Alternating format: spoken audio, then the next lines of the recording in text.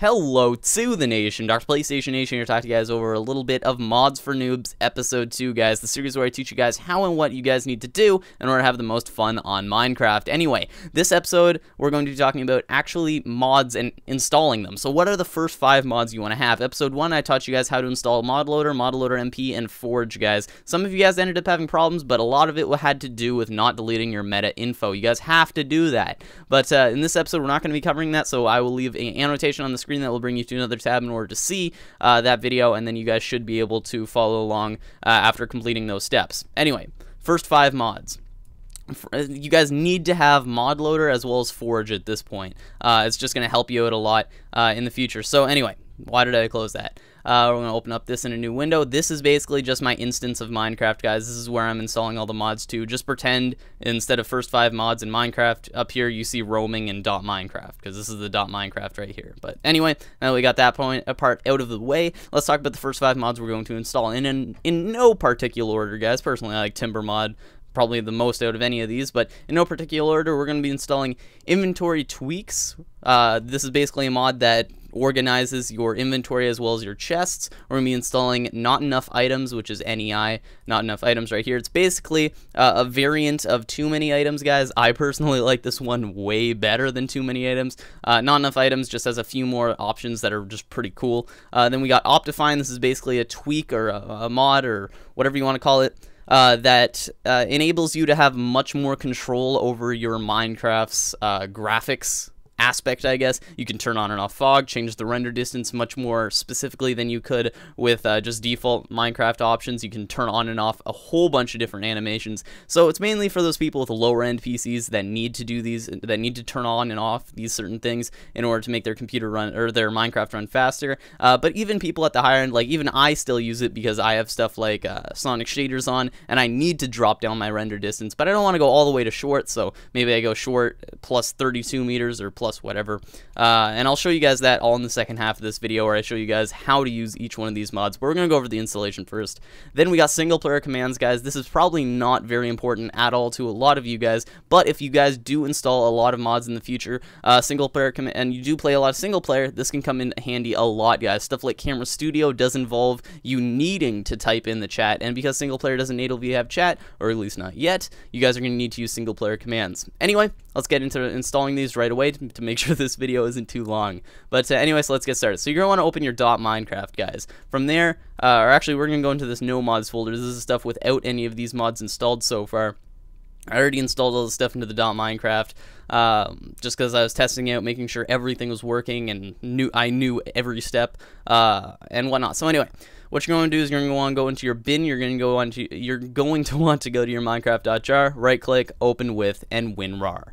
Uh, you're going to open that up with WinRAR Archiver. Then from there, you're going to go into let's hey, let's install not enough items first. So the first thing you're going to go is you're going to go into this folder. You're going to need to download Code Chicken Core, guys. Uh, this is just another thing that you need to download. I did not cover this in my last video when installing stuff like ModLoader and Forge. So this is what you're going to need to install. So you're just going to drag and drop this, or sorry, open this, select it all, and then drag and drop it right in. There you go.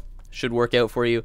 Then you're going to go to not enough items, select it all, drag it in, and you're done Then not enough items should be installed and it should be working properly. Make sure you guys launch Minecraft from here to make sure make sure you guys launch Minecraft after every single mod so that when you if you guys have problems, you can comment below saying, "Hey, my Minecraft stopped working after I installed whatever mod." So from there, you're going to want to install, I don't know, let's try Optifine. It's still installed in here, so we can do something like that. Drag, drop, done. Optifine is now installed.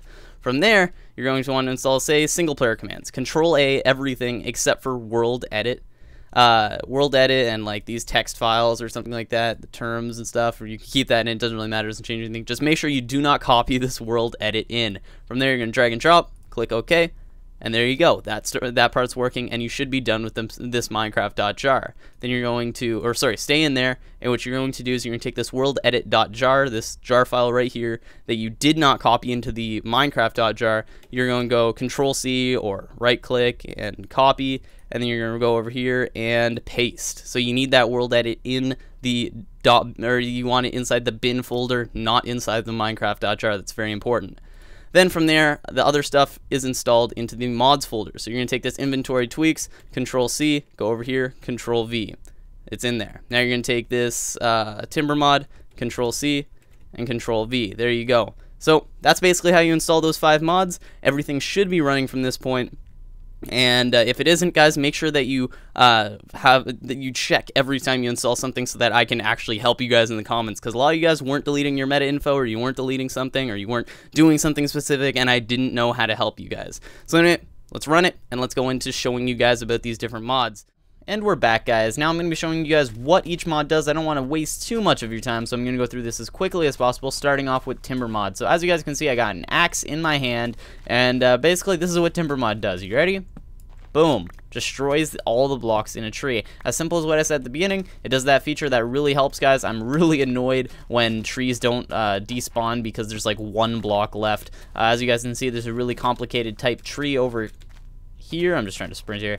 Uh, really complicated type tree. As you guys can see, all those pieces of wood hit the bottom block, all of them fall down, guys. This tree will now despawn. Like all these, all this wood's getting pulled to me. That is because I have magnet mode turned on, uh, which is really convenient. But I'm gonna show you guys that a little bit later. And as you guys can see, it makes it makes going cutting down trees. Really, you don't want to cut down trees. You want to go mining because mining, you always have a chance of getting something cool like diamond. Uh, getting wood, you're always gonna get wood. Like that's that's that's what's gonna happen. There's no like surprise that could happen. And I know there's lots of, lots of sexual innuendos that could be brought up from that phrase, but whatever. So now we're going to talk about inventory tweaks, guys. Inventory tweaks, uh, for some reason, it glitches this chest right here, and it's not closing, but whatever. Basically, what it does is really simple. Let's turn on these chest buttons. You will see these chest buttons here, and what you can do is see all this stuff is like, say I want to throw some of this stuff in here, and I want to throw that in there, and I want to like put this wood in here, but like it doesn't all stack up, right? So I just hit this and it automatically stacks up all my stuff and organizes it. We can go by columns and it'll stack it like that or by rows and it'll stack like all the wood next to each other and all this stuff doesn't really match up very well.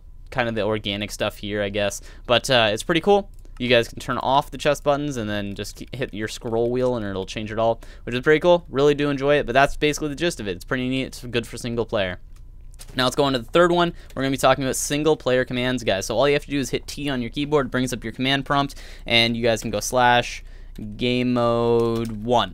And right there, I'm in creative now. Drop down, and then slash T, I hit the up arrow. It automatically recalls all of my phrases, hit game mode zero, and now I'm in survival again. So that's pretty cool right there. One of, like, really cool for single player so that you guys don't need to install something like uh, not enough items. But now let's move on to not enough items. Not enough items is really cool. You got all these, like, neat features. If you guys have too many items, it's pretty much the same thing, except you guys have a cool, a few little more features with this. So as you guys can see, I'm starving right now. Hit the heal button, and it refills my health, and or sorry, ref refills my hunger bar, and it would refill my health if I was starving. You can set the time of day with all this cool stuff. You guys can turn rain on there you go. You got rain. Turn the rain off. You guys can delete items. Hold shift. It deletes all your items. I'm not going to go through all the different features of it, but basically the gist of them.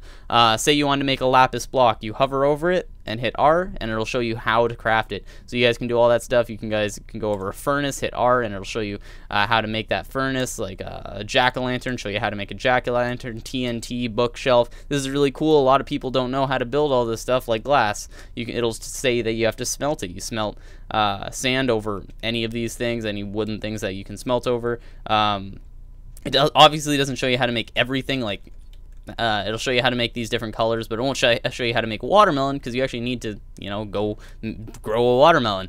Um, but anyway, you got stuff like that. You got these saves and whatnot, so hit E on your keyboard to get back from that. Say you want to save this awesome inventory, right? Uh, and then, I don't know, you accidentally deleted all your items, you died or something, you wanted to load that back up. Now we got all that stuff again. As you guys are probably noticing, we got this magnet mode. Turn that on, and all this stuff goes towards me. If you were like TNT mining or something like that, and you didn't want to jump down in your hole to pick up all the cobble or whatever, you guys can use TNT, blow a whole bunch of stuff up, everything gets sucked up towards you. As you guys can see, this is going from a very far distance, and it's all coming towards me. As you can see right there, it's all coming towards me. Pretty cool right there.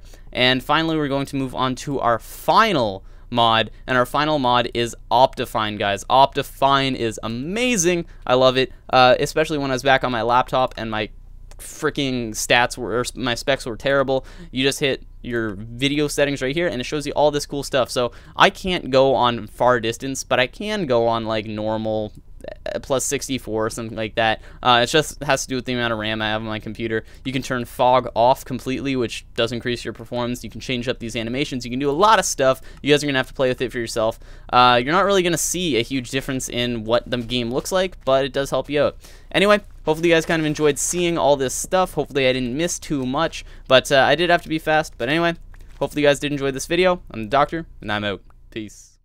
And I am back, guys, for the final time. Hopefully you guys did enjoy this video. If you did, remember to leave a rating, guys. It really helps me and shows me what direction I should be going, what what videos style I should be spending more time on. Uh, for you guys, remember, guys, to subscribe above to join the nation and be reminded when I upload more videos. And finally, the video on screen is episode one of Race to Wool, guys. Uh, if you guys haven't seen it, go check it out. And if you guys have, remember to go rate that video because if I get 15 likes on it, I will be uploading episode two the day after it was uploaded or for tomorrow if you guys are watching this day of. Anyway, hopefully you guys enjoyed this video. I'm the Doctor, and I'm out. Peace.